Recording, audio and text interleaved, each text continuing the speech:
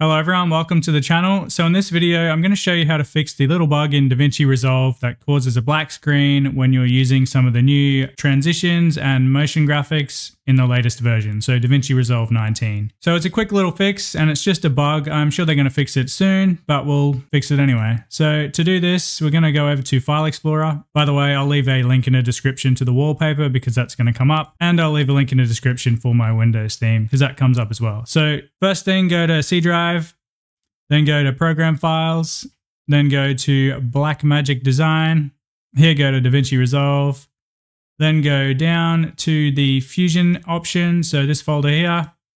Inside this one, double click on templates and you will see a templates file here. So it's a DRFX file. Just double click on it.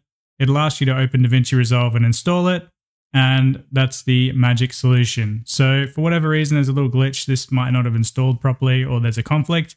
But if you do this manually, you'll solve the black screen issue in DaVinci Resolve. If that does solve the problem, you owe me a like and I'll see you on the next video. Cheers everyone.